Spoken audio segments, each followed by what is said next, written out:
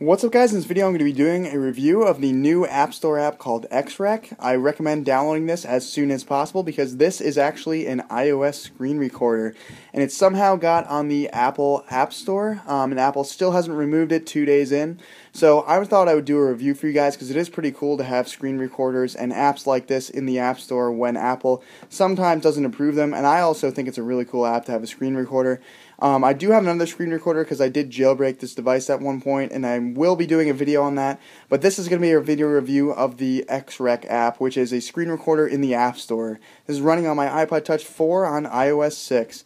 It does not work on iOS 7 yet. I will update you guys when it does work on iOS 7, and I believe it only works on iOS 6. I tried it on my iOS 5 device, and it did not work. So this is currently iOS 6 only, but let's get straight into the review. Um, as you can see, uh, you go ahead and open it up. It's got a record button, it's got the videos button, it's got a settings button. You do need an internet connection at first when you are first using this app to connect. So make sure you have an internet connection when you do that. I'm not sure why it actually uh, it requires that, but when you first open it, you do need the internet connection, just to let you guys know. Uh, so once you have that internet connection passed, as you can see here, uh, I was connected to Wi-Fi on my iPod, so I did that. And you will have a record button, a videos button, and a settings button.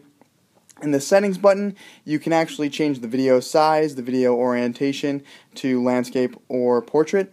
You can also uh, change the audio, so I'll set it to record audio. Um, you can also sample the rate, and you can change whether it's stereo or mono audio.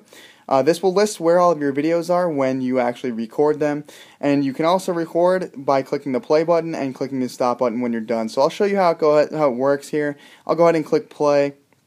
This means it's going to start recording. As you can see, the timer starts going. And I'll go ahead and go to the home screen here.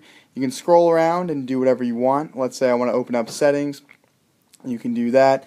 Uh, let's say I want to go ahead and open up Newsstand. You can go ahead and do that. Pretty much it, it'll do exactly what you think it'll do. It just goes ahead and records your screen.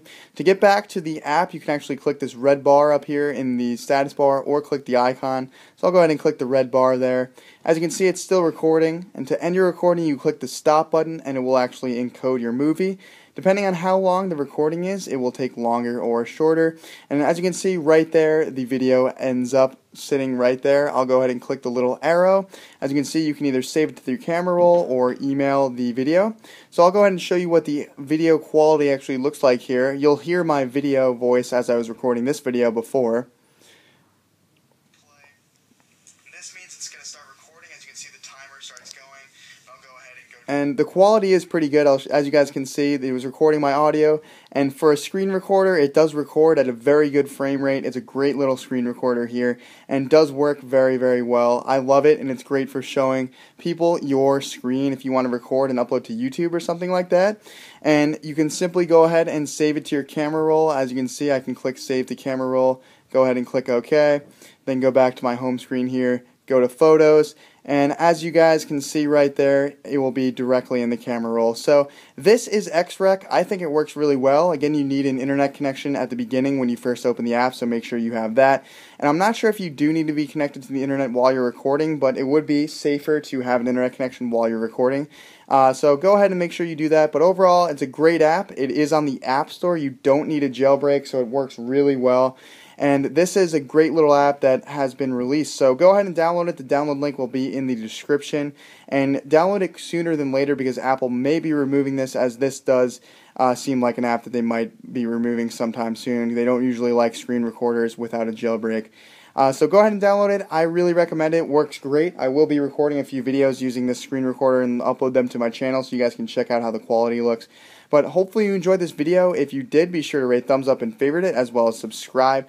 Also be sure to follow me on Twitter, my website, my Google Plus page, my Facebook page, and my vlog channel. Greatly helps me out, and I really appreciate it, guys.